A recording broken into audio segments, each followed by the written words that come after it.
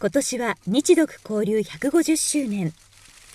その記念行事のハイライトとしてドイツのブルフ大統領が来日し10月24日野田総理と会談しました。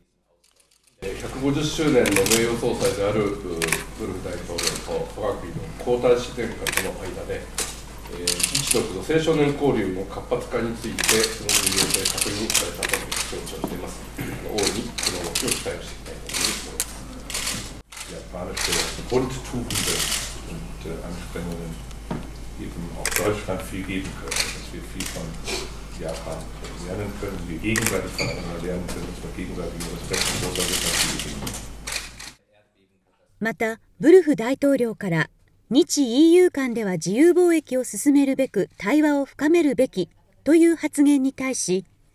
野田総理は自分もリーダーシップを取るのでブルフ大統領の理解と支援を得たい旨を述べました。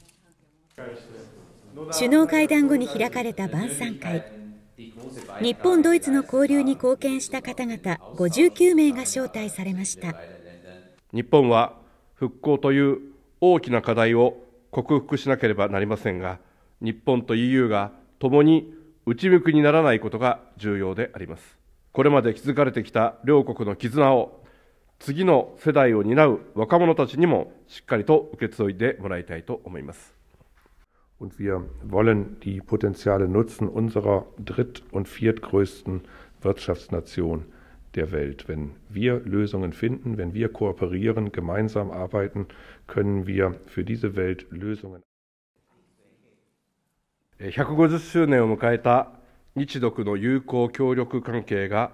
一層発展することを記念し、乾杯 Nun möchte ich, nun möchte ich hiermit mit Ihnen das Glas erheben auf die weitere Verpflichtung der